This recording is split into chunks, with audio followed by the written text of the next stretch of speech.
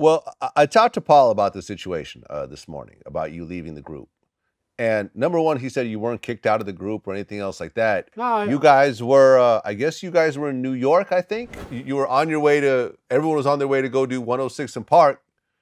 And you just basically left and hopped, hopped on a plane and that was it. Yeah, I hopped on a plane. You know, I hopped on a plane. Vlad, and I'm gonna say this to you because I ain't never said this to nobody. There was a lot of foul shit going on. Vlad, you know what I'm saying? Like that. Paul and Juicy was the the business people of the label that I was on, and they would go to hotel rooms and we were flying from LA to New York, LA to New York, LA to New York, LA to New York, a lot, and five star hotels. You know what I'm talking about? And, and, and, and they would make me put my own incidentals and all kinds of little slick shit they, they was doing at the time.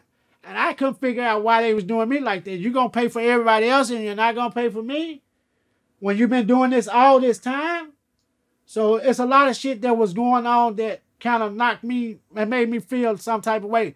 If I beat a nigga up for you, Vlad, come on, man, you can't you can't look out for me. Don't change up on me. I always tell the hoes that I fuck with right now. The way you got me is the way you're gonna have to keep me.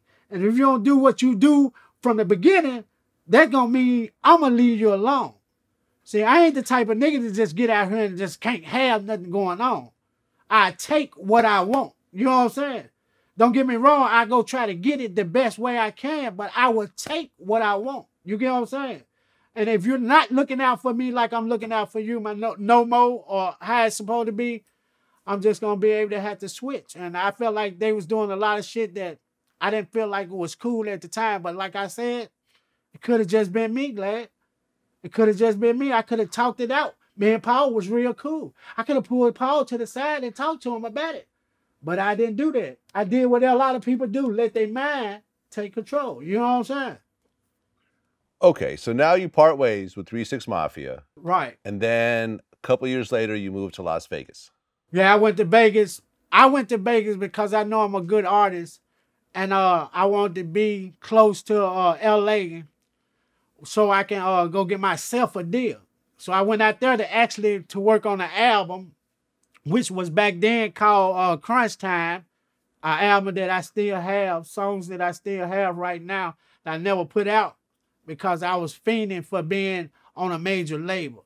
A lot of motherfuckers say major labels ain't the way to go and all that, and I understand what they saying, but if a motherfucker gonna give me a lot of money for something I don't did, you can do that for a minute until I can start owning my own rights to my own shit. I'm not gonna sit around and try to ride the horse everybody else ride. Too many motherfuckers on that horse.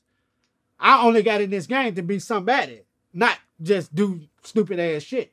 I heard a lot of people say independent artists would make three hundred thousand and have to spend that same three hundred thousand. They gave Flip thirty million dollars. They gave Paul them thirty million dollars. They gave uh uh what's that boy name? Uh oh you see me rolling. Uh, Chamillionaire. Chamillionaire, that nigga ain't rapping no more. They gave him so much money. So why should I be to be an independent uh fucking artist? And you know, I know Master P and them talk about this all the time. So why should I fiend to be that when I can fiend to be something more? You get what I'm saying?